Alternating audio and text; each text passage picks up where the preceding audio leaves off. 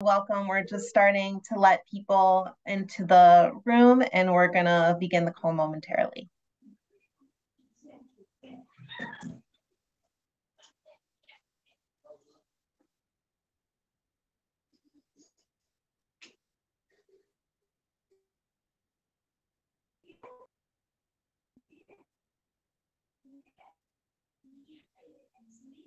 We're going to get started in just one more minute.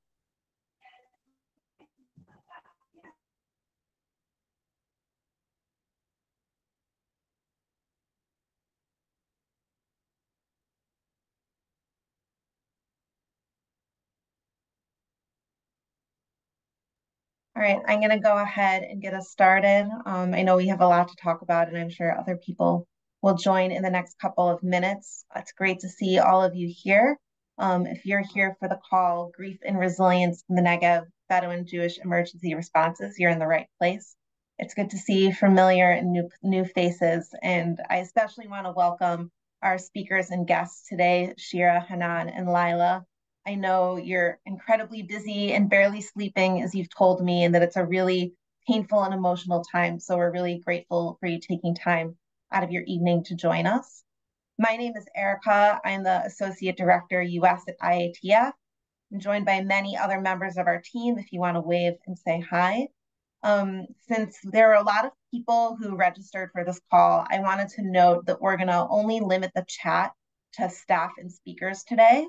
But we also have a Q&A feature, and I encourage you to leave your questions in the Q&A throughout the program. IATF staff will be there to write in answers and help answer clarifying questions. And then we're really going to dive into the Q&A in the latter half of the call. This is the first of what we're planning to be a number of public calls focused on the experiences of Arab citizens of Israel and Jewish-Arab relations in the aftermath of October 7th and the ongoing war. I want to just acknowledge that for some people on this call, you've been learning about and following these topics since the moments after the tragedy in this period began. For others, this might be the first time you're really diving into exploring the experiences of Arab citizens of Israel during this period. Um, so, just to note that we're all learning together, hearing new perspectives, and to be mindful of how we're navigating this difficult moment and how it impacts our communities. I hope that today's conversation will raise perspectives and draw attention to experiences we might have had less exposure to in the American Jewish community, and also to really highlight the work that professionals, leaders, and change makers are doing in the Negev as a source of possibility and perhaps even hope as we both grieve and slowly begin to look forward. As you know, today we're focusing in on the Negev. So before I invite our speakers to join us in a conversation, I just wanted to give a little bit of framing information um, about the context for our conversation. There are about 300,000 Bedouin living in the Negev. It's a growing population that represents somewhere between a quarter to a third-ish of the Negev's population. Over the last decades, there's been great strides in socioeconomic development, including higher education, um, but still Negev Bedouin remain the most economically disadvantaged population in Israel. Approximately two-thirds of Bedouin population live in six formally recognized municipalities established by the State of Israel, um, including Hura, which we're going to be hearing a lot about today. The remaining third, again, numbers are a little spotty, but roughly a third live in unrecognized villages. We're going to be hearing more about unrecognized villages from Hanan, and this can be its own call on to itself. But just to give a quick definition, these are rural communities that aren't formally recognized or authorized by the state, and they have limited infrastructure. In part due to ongoing land disputes, these communities often lack access to running water, electricity, public transportation networks, and particularly relevant today is rocket shelters. Bedouin communities were profoundly impacted by October 7th and its aftermath. Over 20 Bedouin citizens lost their lives that day, both from rocket fire and being directly killed in Hamas attacks. Um, and many were taken hostage, as we're going to be hearing more about today. Um, and Bedouin were involved in leading and initiating and participating in many heroic rescues. Some stories that are being told and some stories that are still being learned about today. Negev Bedouin are also among the most under-equipped communities for these types of emergency situations lacking adequate shelters, information, and resources. as we talk about the tragedies and difficulty besetting the South, it's also really important to talk about the moving stories of collaboration, solidarity, and resilience, some of which we're going to be hearing today. Jewish and Arab residents work together with support from the rest of the country to meet the humanitarian needs of the South and to also try to preserve Jewish Arab relations, which are fragile and challenging in a time of war. So, to share more of their firsthand experiences and insights about these dynamics, I want to bring our speakers into this conversation. Their full bios um, will be added to the chat. Shira is the CEO of the city of Hura, and Hanan is the director of the Bedouin Women Rights Center at Itach Maaki. They're both going to bring their personal perspectives and insights through their work, Shira through the lens of local government, and Hanan through her work as a civil society leader. So we're gonna have a conversation. The three of us also bring Layla in to share some of her story and tell us about her son. And then we'll also open things up for a broader um, to take Q&A in the latter half of the call. So um, Hanan and Shira, the first question I wanted to ask, and we'll start with Hanan, is how have Bedouin communities been impacted by October 7th and the ongoing war? What are you, your colleagues, and community members feeling and experiencing over the last six, seven weeks?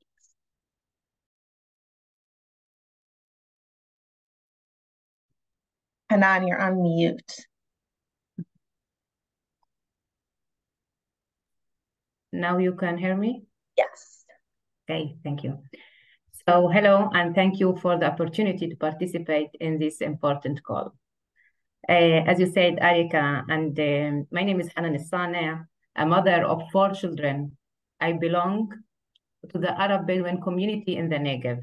The Negev is a desert area in the south of Israel. I'm from Beersheba, a city in the south.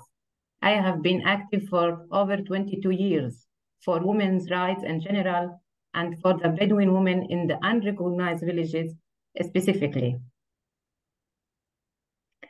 Uh, as you mentioned, uh, Erica, it's true that we are uh, about 300,000 Bedouin who are citizens of Israel, and we are also 30% of all of the total Negev population.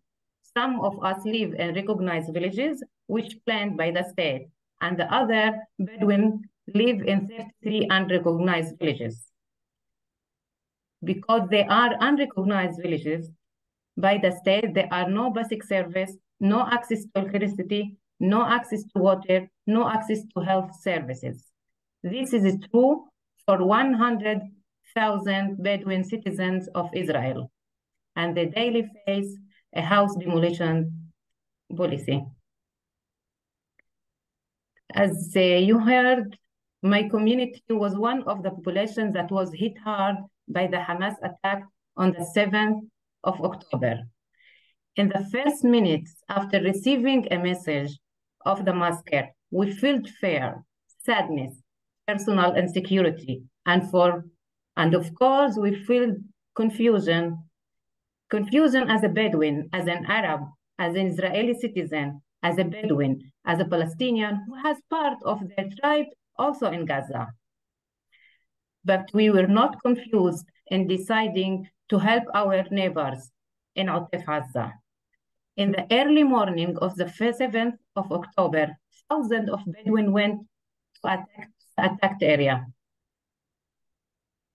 Together, citizens of the Negev, Jews and Arabs, the citizens, stood together and worked saving lives, locating missing persons, moving the families who survived the massacre to a safer place, taking injured people to the hospital, opening their homes for the survivors. I want to tell you one of the story. In the medical staff, the medical staff, Arab and Jews in Soroka Hospital, including those who were on their day off, worked hard to save lives of hundreds of citizens. Everyone was very was trying to face the disaster. A group of extremists from, like La Familia, arrived at the hospital and started shouting with their favorite phrase, death to, the, to Arab, Arab, Mavit al-Arabim. A group of Jewish families from the victims went to them and asked them to leave the place. They told them, Bedouin youth risked their lives to save us. And now doctors and nurses are working hard to save our families. And they also have victims. Please leave the place. We have suffered through a disaster and we have a lot of pain.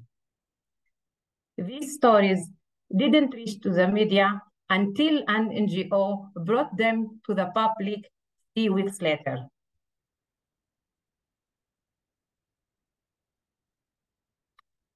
And in the same day, in the end of the day, we were informed about the results of the attack. Unfortunately, we have 1,400 killed. And in our community, we have 21 killed and seven hostages. On the first day of the war, six people were killed, including four children from the unrecognized village El Baten by Hamas rocket. Suddenly, we remembered that most of the unrecognized villages are exposed to Hamas, to Hamas rockets. These villages appear in the Iron Dome system as an open area, and there are no shelters and no rocket alarms.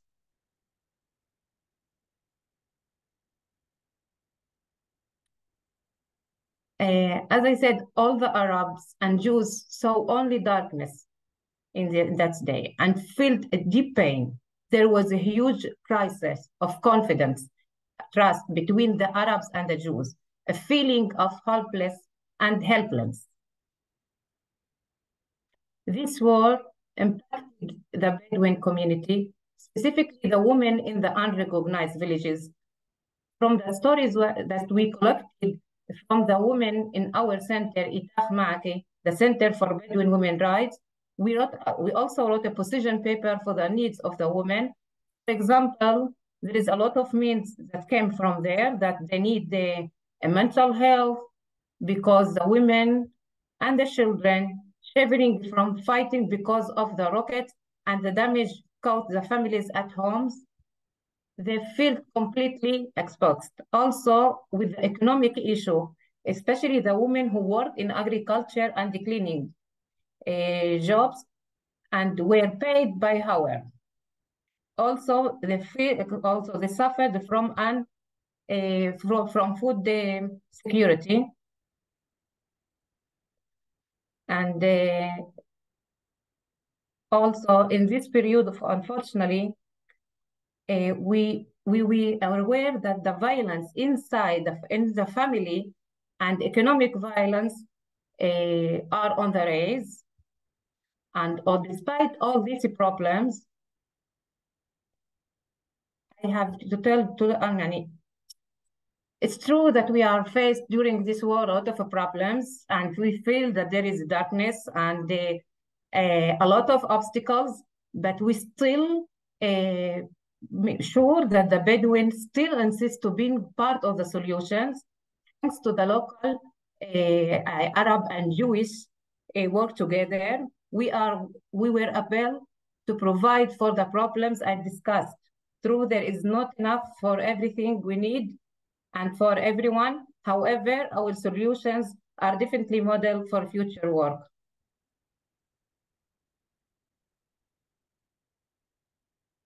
as an active Bedouin woman, feminist who decided to pray to break walls during her life, I created the hopes despite all the odds. I was always told that you will not succeed. However, I showed everyone that I can succeed. Also, in this sensitive and difficult situation with war all around, I believe that we have created the hope that was, was missing during our two uh, big projects.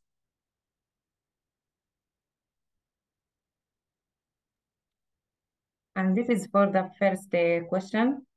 Thank you, Hanan. I I have so many follow-up questions on the kind of work that you've been doing with Itach Maaki um, in the Situation Room. But before we go in a little bit further, I wanted to invite Shira to speak and also to bring Lila into the conversation. Shira, the floor is yours. Thank you, thank you. So, hello. Um, As Erica said, my name is Shira Ohana. Uh, I grew up in Yerucham, a small village in the Negev, half an hour uh, driving from Chura. And um, for the, fif- the 15 month, uh, I have the privilege of being CEO of uh, municipality, the second large Bedouin city in the Negev, right after Rahat.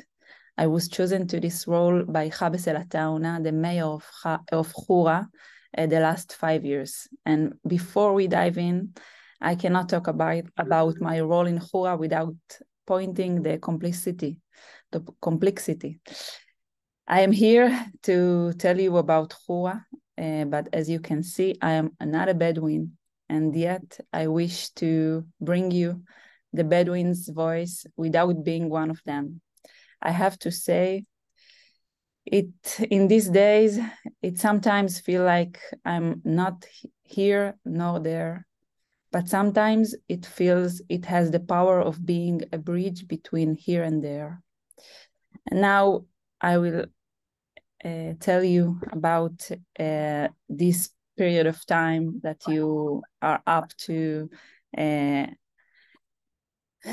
um, to know better so on the morning of October 7th, the entire state of Israel woke up uh, to the sound of nonstop alarms.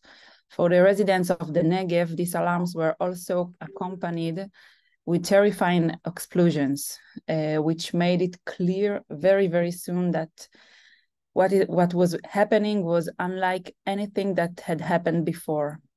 A little after seven o'clock in the morning, the alarm was sounded in Chura also and the horror uh, picture became clear and terrible.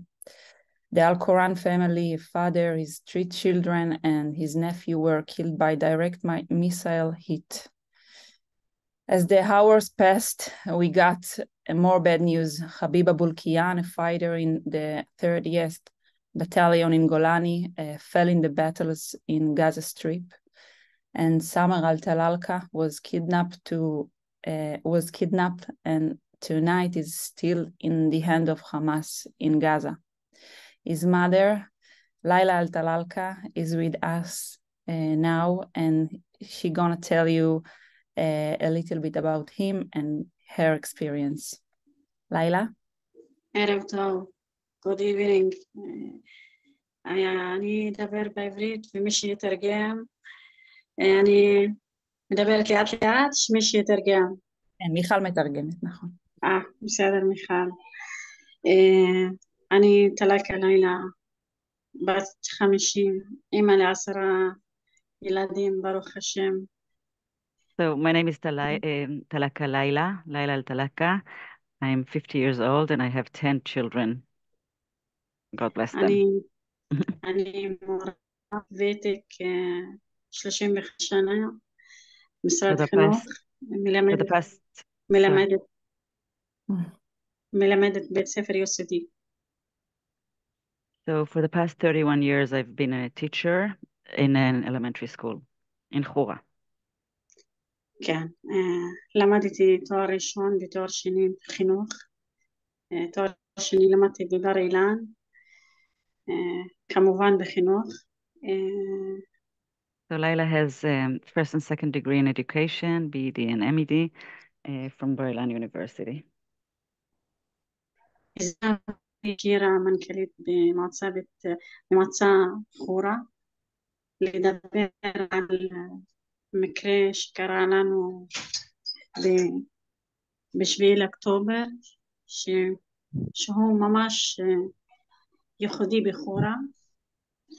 So Laila wants to share with us, um, Shira has invited her to share with us their own story that happened on October 7th, which is very, very unusual in Chora, very unique.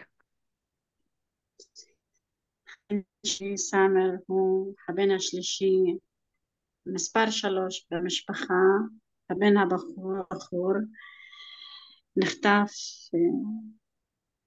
בשביעי לאוקטובר בשעות הבוקר בשבי בעזה. How old is he? בן כמה הוא, לילה? 25. So um, Laila's third son, third child, and, and actually eldest son, but he's number three in the between the children, was kidnapped on October 7th in the morning. Samer is 25 years old. הוא בשביעי לאוקטובר היה בעבודה בשבת טורן עם כמה תאילנדים. בחקלאות? כן, בעוטף עזה. ליד, ליד קיבוץ נירם. Mm-hmm. The Samer was working in agriculture near uh, Kibbutz Nir Am in what we call the surroundings of Gaza, Otef On October 7th, it was his shift.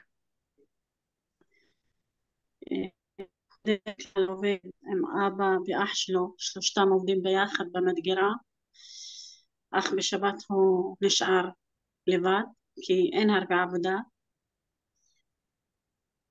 So on Saturday, he usually works there with his father and his brother, but on Saturday he was there on his own because on Saturday it's a very not not not a lot of work, less work. סאמר הוא בחור נחמד, אהוב, כל הבחורים שבגיל שלו והגדולים מכבדים אותו, יש לו קשרים עם כל מיני משפחות, אנחנו לא יודעים את הקשר, לא ידענו את הקשרים שלו זה אך רק כשנחטף ולא ראינו אותו, כולם באים שואלים עליו, אז התברר לנו שאנחנו, שהוא אהוב אצל כולם, יש לו הרבה, אנש, הרבה חברים ממשפחות שונות. So Samer is a wonderful kid, he or person. Um, he is very, very loved, and we didn't even realize, we didn't even know how much loved he was. But now that he was kidnapped, we had many, many visitors from various families, people who really liked him and are coming to condole us and, and see how we are and what they can do. סתם בכלל לא אוהב לשבת בין ארבע קירות, הוא מחפש תמיד את המקום החופשי. למשל, הוא מסיים עבודה, יוצא לשטח, יש לו אופנוע, הוא תמיד הזמן מטייל באופנוע כמה שעות, שעות לא, לא פחות מארבע שעות על אופנוע, לא פחות. He had a motorcycle and he loved traveling, he loved being out in the fields daily. אני מאוד מאוד מתגעגעת לאנשים כמעט מעל חמישים יום. לילה, שמעתם משהו עליו? אנחנו שמענו שהוא חי, שהוא... יש משהו בדרך uh, משמח. אינשאללה. אינשאללה. Shalala says that she really, really misses him. It's over 50 days by now. It's, I think, 52 days. But they've heard that he's alive, and inshallah, something good will happen soon. Thank you. מאז היום, מאז היום, מאז תודה, תודה לילה, שוכרן כתיר. Sister Michal, if you want to translate before um before Lila goes that um just I want I want Lila to know that all of us in the call have have her family in our thoughts and prayers and that we're we're sending our warmth and and support and and gratitude for you sharing your story with us. I know it must be really difficult right now. תודה רבה רבה לילה, כולנו פה, את רואה, יש פה יותר מ-70 איש מתפללים איתך וחושבים עליכם, ותודה רבה ששיתפת, ובאמת על האומץ הרב.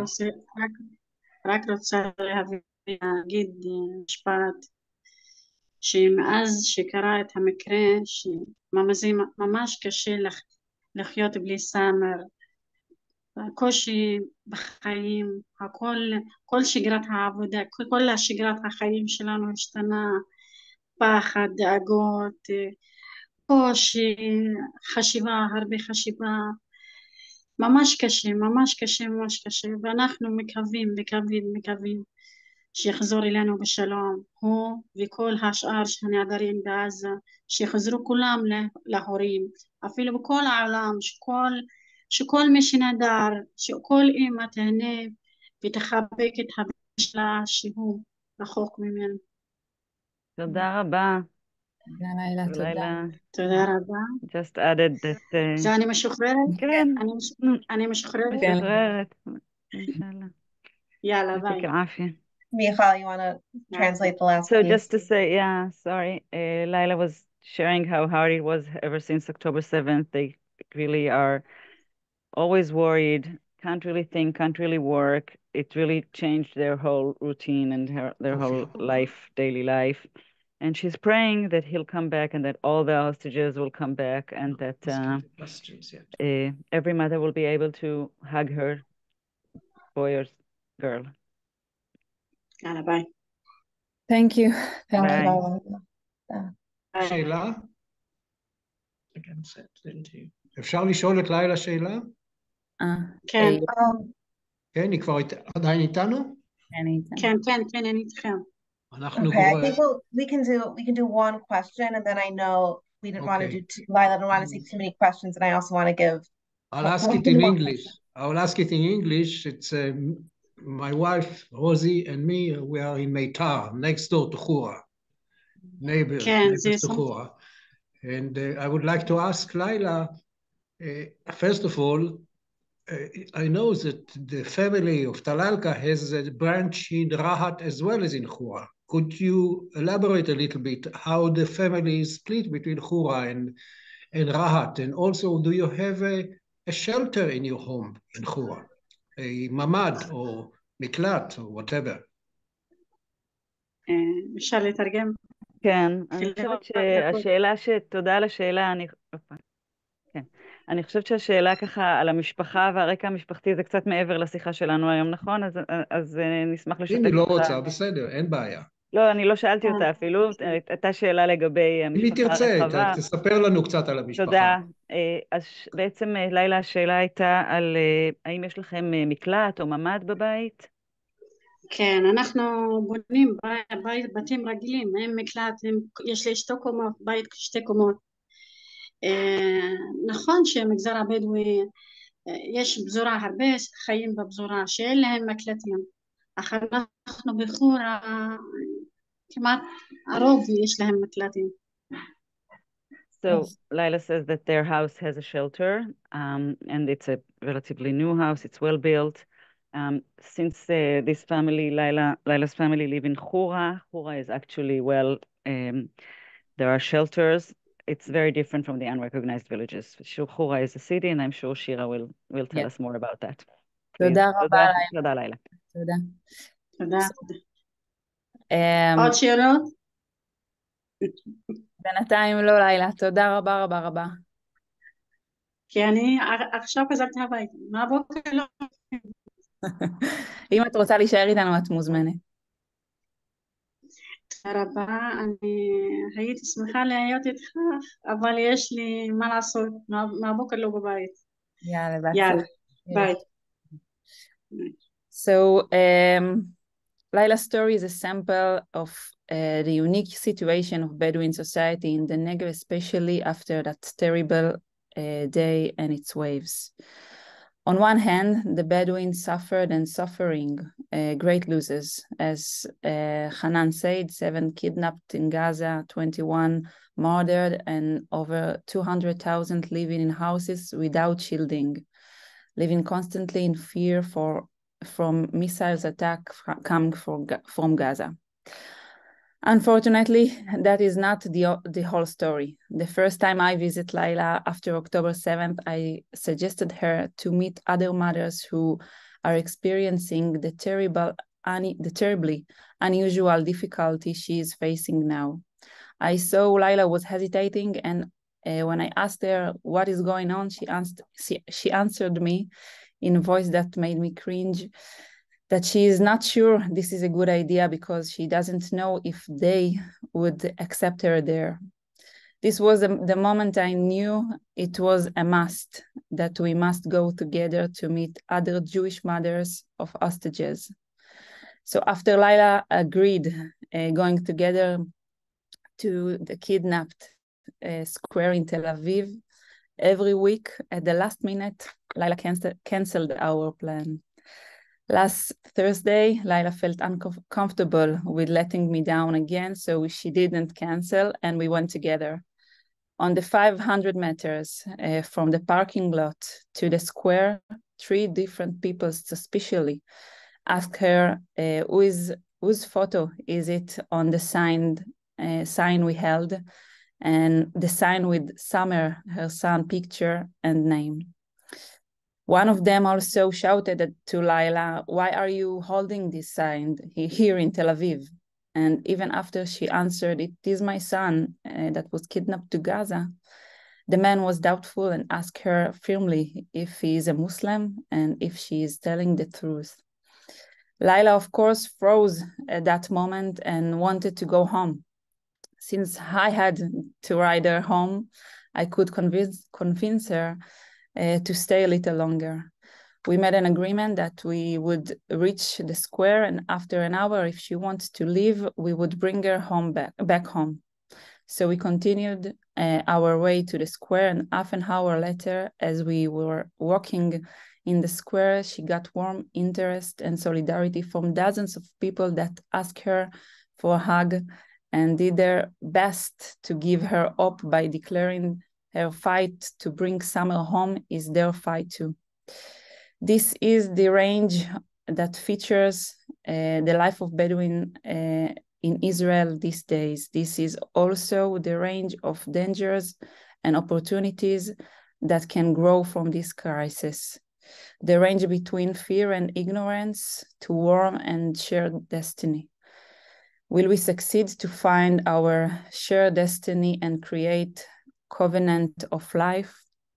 Can we lower the fence of suspiciousness and fear between the communities? Will we be able to find shared goals and interests and work together to achieve them? We must do. Thank you. Thank you both. Um, really, it's so powerful and emotional to hear what you're sharing, and it's so important that these these stories are making it to the American Jewish community here today. Um, now we've gotten a little bit of, of what the reality is both of you are, are leaders and change makers working in the Negev, working very hard, as I know from the last six weeks.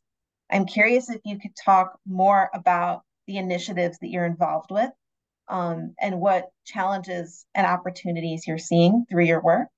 Um, Hanan, if you want to start, and specifically, we'd love to learn more about the emergency room you're involved with. I know you were starting to mention groups of, of Jewish and Arab volunteers working together um, to support the needs in the Negev. Can you tell us a little bit more about that um, in your other work? Yes, sure. Thank you. Um, actually, since the October 9, three days after Hamas attacked, I was a partner in establishing two large ventures. The first, the first ventures I founded together with my friend Shir Nosatzki, director of Have You Seen the Horizon Lately? Uh, in this uh, venture, this venture called the Joint Jewish Arab Emergency Relief Center in the Bedouin city of Rahat. We run it in cooperation with uh, our partners, the Community Center of Rahat, uh, Desert Stars uh, movement, and in Nashmiyat. It's a Bedouin women movement in the unrecognized villages. And the second venture I founded with my colleagues in Itach Ma'aki, Shireen, Nisreen, Ela, Shira, Birla, Muran, and Tagrid, together with the, the, volunteers from the unrecognized villages, Fatma, Laila, Amira. Together, we established 16 emergency centers in, un, in 16 unrecognized villages for only for the single parents family and the working woman, those without, and also for those without citizenship. Through this project, we are giving service around 1,400 um, family in from in the unrecognized villages. And if I want to tell you the story of the joint uh, Jewish Arab emergency venture that we founded, it's like it's come very uh, spontaneous. Something come from the cities, the civilians, people, families from the center, from Tel Aviv and uh, uh, Kfar Qasim and Jerusalem, they wanted to help after they heard about uh, the Hamas attack on the unrecognized villages and the, the six uh, killed, killed um, victims from the unrecognized villages and the situation, they feel that they want to do something. And they, after they heard the story also about the Bedouin, how they support and they save lives here of the uh, families uh, from uh, Kisufim and Be'eri, they feel that they want to do something also and support the Bedouin community. They started to, in, in very small project, families who want to arrive to the unrecognized villages and provide the food, okay? And uh, suddenly we found out that we are get, take, getting a food not only for the Bedouin who are in unrecognized villages, also for the Jewish uh, families from Netivot, Ofakim, Shdarot. And uh, one day she called me and sent to me, uh, Hanan, why we don't show all the public, all the um, people around us what we are doing here because suddenly, finally, we, we saw this uh, point of light in this uh, huge darkness. I said, okay, let's do it. And uh, we founded uh, this emergency Arab Jewish uh, uh, emergency and the emergency in Rahat. And through this project, we supply food for 2,045 Arab and Jewish families.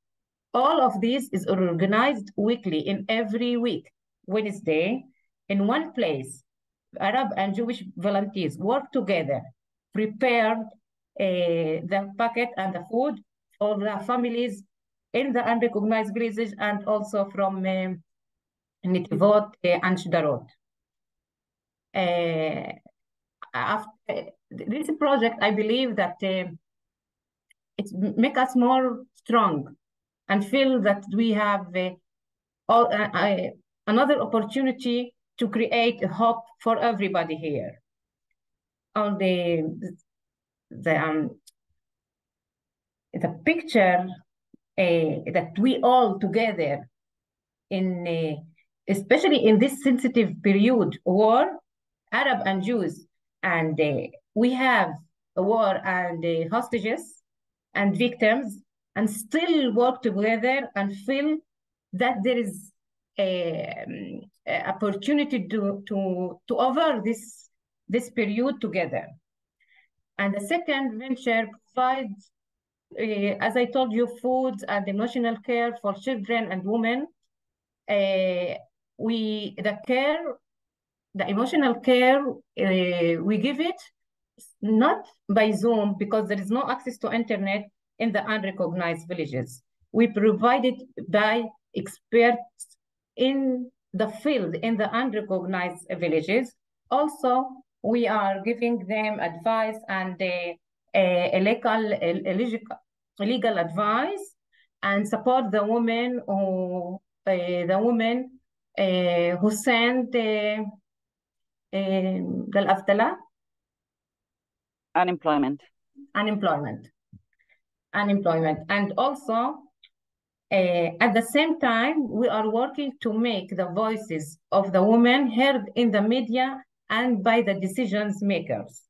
And this is the reason that we see, uh, we see, we saw in the, um, we see in the Itach Ma'aki that this organize, organizing of women from the unrecognized villages who, who say that we want to be part of, of, of the solution and we want to help and be active and we want to bring uh, the needs and uh, solve the problems for the, that the women deal every day in this period. We support this uh, group, the volunteers in Nashmiyat, and we want to make sure that they become more involved with the local committee in their in their village, and provide the service for the families, uh, for the single parents. And uh, this is the two projects, and thank you for listening. Thank you so much for sharing, Hanan. I'm gonna, we're gonna put in the chat, um, you mentioned that, that there's been some effort on the part of the, the group of NGOs you've been working with to sort of share and promote some of these stories and work, including a video about the emergency center. And so we're going to put those in the chat if people want to um, check out those videos later. Um, I now want to turn it over to Shira. We've heard of it from Hanan about specifically the challenges in unrecognized villages. um, and sort of the, the joint Jewish Arab um, humanitarian response and emergency initiatives that emerged from a volunteer civil society place. I'm curious to hear what it's been like for you working in a local government in a city that, as you described, has really been impacted by recent events. Um, what's your work been like? What have you been seeing and experiencing? Okay. So after the after that day, the the October seventh, Hura was um, at a total standstill. Uh, there was no education, no trade, no welfare. There were nothing. Uh, so we have to we had to restart everything. And in the first two weeks, we worked around the clock to address the five most sensitive points these days. First, the physical security and shielding. In two weeks after the October 7th in Hura, we man managed to stabilize uh, the resident security to optimum possible during this period. Uh, we mapped on a geographic system all the family homes without shielding. There is 2,400 residents who lived in uh, a new um, neighborhood that there is no um, no shield at all. And this day, by shield you mean like rocket shelters, right? Yes, yes, yes, shelters. Yeah. And this day we are uh, purchasing uh, shielding for the most sensitive areas in the settlement. So this is the first uh, point. The second is education. We were the first among the Jewish and the Arab settlement in the Negev to ask for ex uh, exception to have physical activity and return the education system to face-to-face -face learning. This was critical because when schools are closed, uh, the children are on the streets and the street is much less protected than school. We also expanded uh, the activities of informal education since we found that children spend their free time in social network which create unbearable dissonance for them. The, the third is community. Uh, the day after that terrible that terrible day, we made contact with each uh, and everyone from Hura sensitive population to check their situation and needs. We had some experience from uh, the COVID days in taking care of the weaker population in the community. Still, it was clear to us uh, back then that we respond only to what we see, and it is just the tip of the iceberg of the challenges that our community is facing. At that time, uh, we realized also that things that, that things are happening in the lives of residents now that we no longer know how to define or give answers. So therefore, we created dozens of meetings with the residents groups uh, to learn about their, need, their, needs and give answers together with partners in uh, civil society and the government. In each neighborhood, we establish an emergency leadership team that identify needs, receives training, budget, and supports to hold community events and door-to-door -door aid uh, in neighborhoods. We also created a women team to do the same for women in Hura for employment, we found that uh, a lot of young people stopped working uh, because their workplace worked less or because they were fired. We know that young people are among the biggest victims of such times, those who have not yet recovered from the occupational damage of COVID. We understand that those who want to be returning soon to the work uh, circle can remain outside of it for many months. We know this affects their physical security and also their attitude toward Israeli state and society. So to support this group, we held a webinar in cooperation with the Employment Service in Israel, in which we represent inf information uh, regarding their rights. We established a right ex extraction center with volunteers to help those young people submit forms to extract the grants uh, they deserve from government. We also establish a system that locates jobs and opportunities for employment and professional training and connected them to our to our young men and women. More than that, we also handle ch the challenge uh, of local small businesses that having hard times and establish a support system for them also.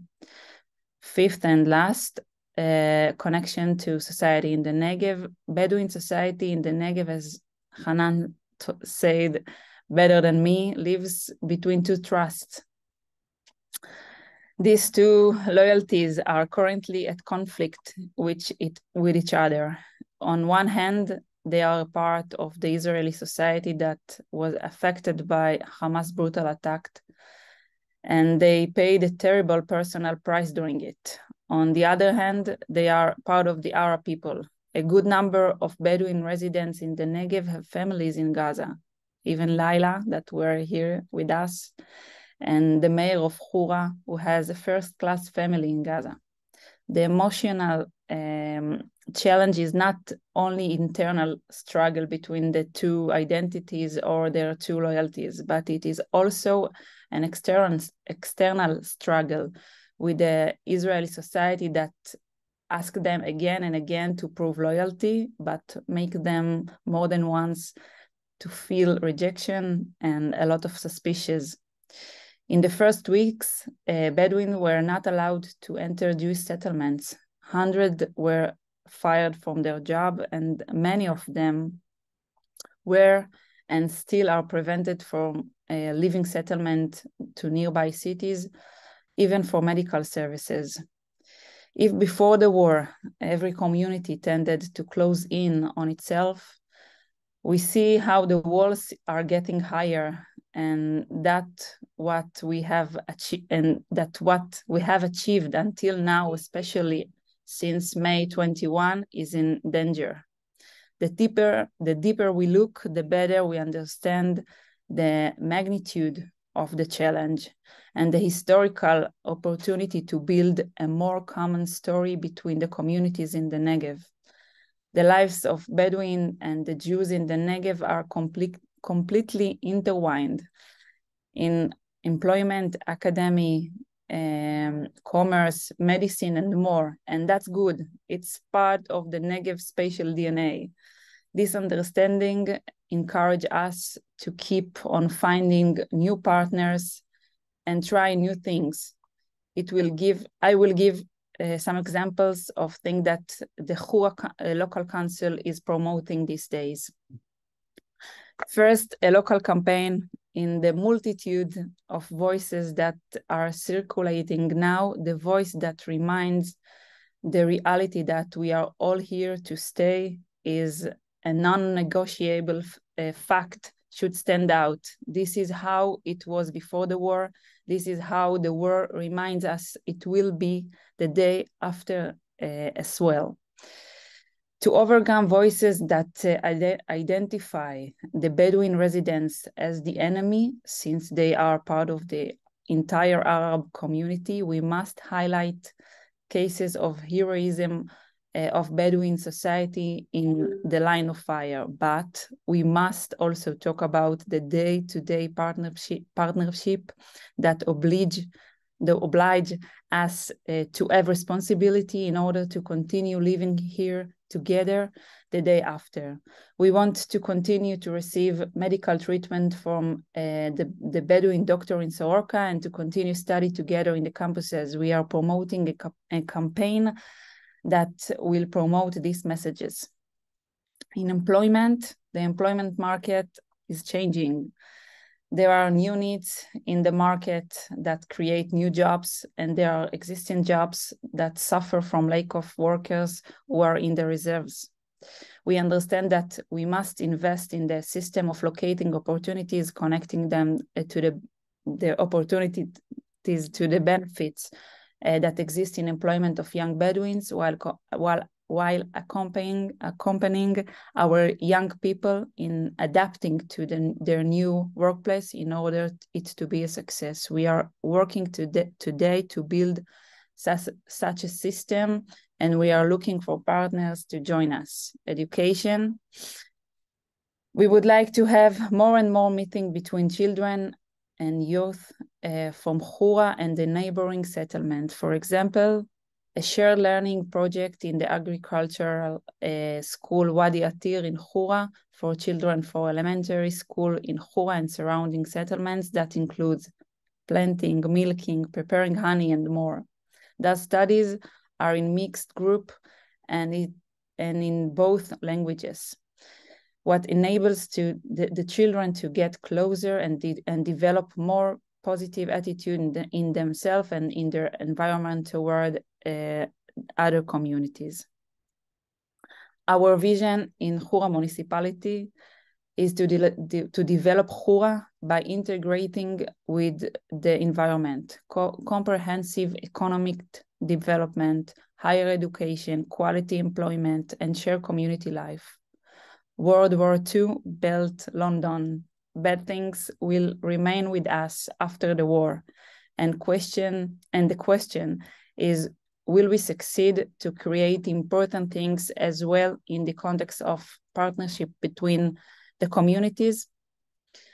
Honestly, Hura is a weak community. The Bedouins are a weakened community, and usually weakened communities pays the highest prices in time like this especially if they are in the line of fire.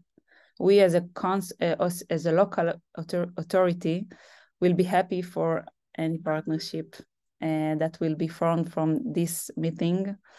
Um, and I want to thank you again uh, for inviting us and let us tell the story of the Bedouins in Hura. Thank you both so much for being with us. Um, I'm starting to take some questions from the Q&A in the chat, and I noticed we, we've already discussed two of them, focusing on women's leadership, which we've heard so inspiringly through your own work and your work with the women and, and unrecognized villages, and also questions about employment and men working.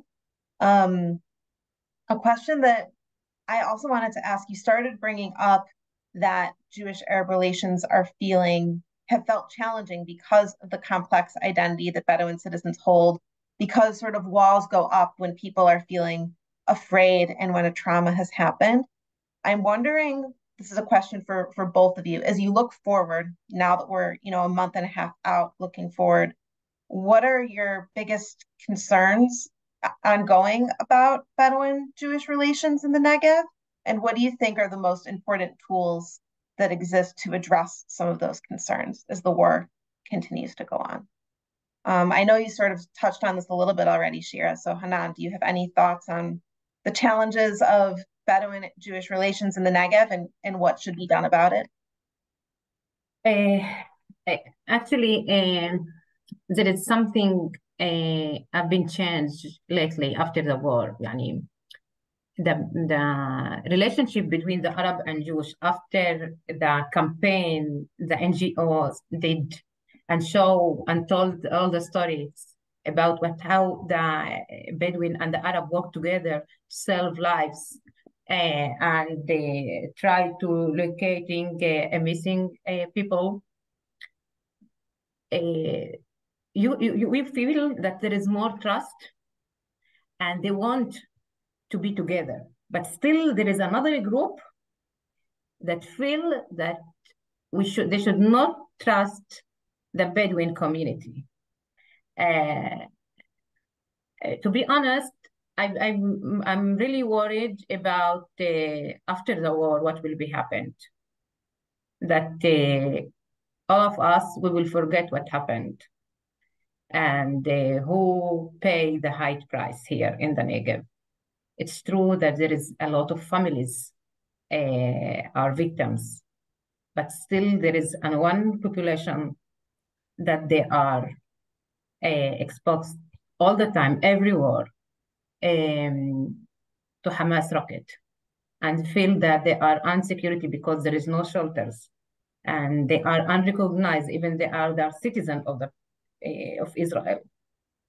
Um, for now, I hear that uh, a lot of people here from the Jewish community, they want, they want to raise the voice of the Bedouin community, especially in the unrecognized villages, and they want to take a part in their struggle. Uh, in the second hand, um, uh, all the during in the during the war, the government promised that they will find solutions for the people in the unrecognized villages, and they say that they will have a plan. I I just for uh, I, I just uh, אני חוששת שזה יהיה רק על נייר. Only, it will be only on paper and uh, and after the war they will forget. So we need somebody. it's not if the if the NGOs eh, if the government will not do their role, the NGOs must to be prepared to continue to replace the government in the unrecognized villages until the justice will be right for them. I see um, we're going to take one other content question, and then there's also been a lot of questions asking about resources, how to learn more about different initiatives, how to follow up on this call. So I'm going to save a minute at the end to share some of that before we close. Someone asked about Ben Gurion University and if they're doing anything to help um, unify communities and navigate the situation. I'm going to expand the question a little bit to ask about the the challenges, some of that's come up with the role about uh, happening at universities, um, and what role you think universities play in Jewish Arab relations in this moment. Um, Shira, do you want to try to take that, or Hanan?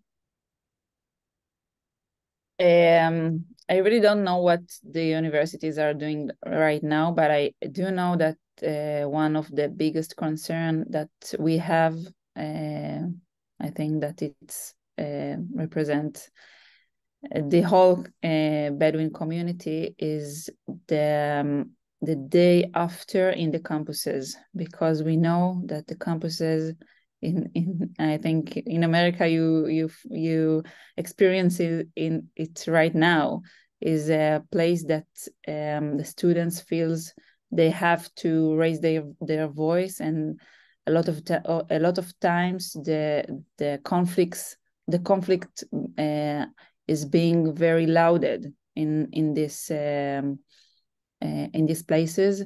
So uh, we are afraid that the uh, Bedouin students will not feel safe to um, to, to go to campuses and they will um, not go uh, and, and learn in the Israeli academy or at any academy at all. So I don't know what they are doing right now. There is no academy right now. Like they, so I think that they going to open like a month um, from now. Um, but I don't know what they are doing. Hanan, if you know something else, it's, so it's, it's not that they are not going to the academy, but it's still the the academy and um, they are following about their students and uh, the situation that they are prevent from the students to express their opinion. Uh, it's something it's um, it's not good in my opinion because the student what they are coming to the university to the academics to be improved and to learn how about to express themselves and their opinion. And uh, uh, to be a part of uh, to empower and develop uh, the community and the society here and the, the state. But uh, with this uh, um, gisha, method, attitude, attitude. I'm afraid that the, the academic send a, a very dangerous message for the students. That there is no democracy here and you cannot express yourself and uh, there is a, a, and you will be under control all the time and will you will do what uh, you ask to do. Um, i'll share two things before we close out that um, i'm also seeing someone wrote in the q&a that they know that ben gurion is starting to take measures um, schools returning in theory on the 24th, and they're trying to create some of these proactive steps to deal with frictions that might happen on campus. And as Hanan was, was saying, we've been hearing a lot about in our work, not just at Ben Gurion University, but the challenge of navigating social media students speaking their mind, censorship, what can you can't can, can or can't you say? Will you get expelled? Will you get suspended? In some ways, com- issues mirroring what we're seeing in the Jewish community and um, navigating things on U.S. college campuses. Um, but also in other ways, it's very different. Um, I'll just plug we don't have anything on the calendar yet, but these sort of bigger questions about speech, what are things like on college campuses and in office places and shared spaces where Jewish and Arab citizens are meeting in this really difficult time extends far beyond the Negev to the rest of the country. And there's also pretty amazing initiatives happening in mixed cities. And um, we're going to be arranging a few more calls like this one, where we're going to explore some of those issues in sort of a broader context of what's happening in Israel um, at a later date. So please stay tuned and follow on our listserv um, to find out when those next calls are happening. We also have a question in the chat about how you could donate. How can you support the type of initiatives like we were hearing? Um, we shared in the chat as well a link to a document about some of the major coordinating efforts happening um, and some some of the reports that we've been writing on what initiatives are out there, how to connect. Also, please feel to be in touch with us in the chat, you'll see our emails, both for sort of questions about engaging and learning more about some of those resources, about finding out what needs are and how to get involved. Or if you'd like to do programs like this and bring educational content um, to your own communities um, and to your own learners. We'll share two more resources just here. Uh, one is an educational resource we created that highlights some of these stories of heroism, of lives lost and challenges of joint Jewish Arab work and the things people are experiencing, like a curated list of resources you can use in your educational work. Um, and we'll keep you up to date as we do more programs to try to bring these really important issues out there. Thank you again to Shira and Hanan for being with us. Um, we just heard everything you're doing, how how busy and overwhelmed you are. So really, we're very grateful you're here. And Shira, again, pass on our gratitude and our thoughts and prayers to Layla, and we'll certainly be following as we are with all the hostages to see what happens with with Samer and are praying for his well being. Um, stay in touch, and thank you all for joining.